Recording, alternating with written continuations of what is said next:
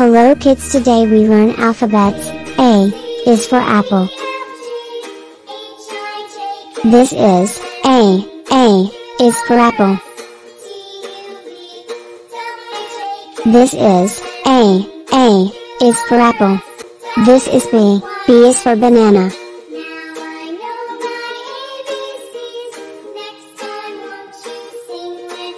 This is C, C is for cat.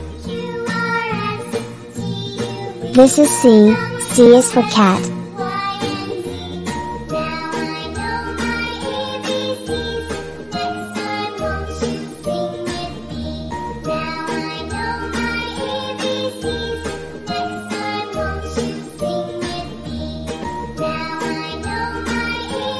Learn counting. I'm counting. This is 1 O N E 1. This is 2 T W O 2. 3 C H R E E 3. This is 3 C H R E E 3.